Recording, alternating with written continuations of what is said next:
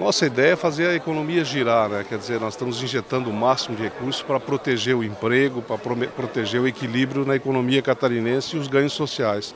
E para isso você tem que fazer todo dia ações, injetar recursos, motivar o investimento para que a nossa economia continue resistindo. A média do desemprego no Brasil está acima de 9, em Santa Catarina é 4.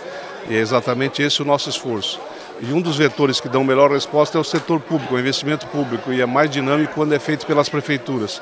Por isso nós estamos injetando bastante recursos nas prefeituras.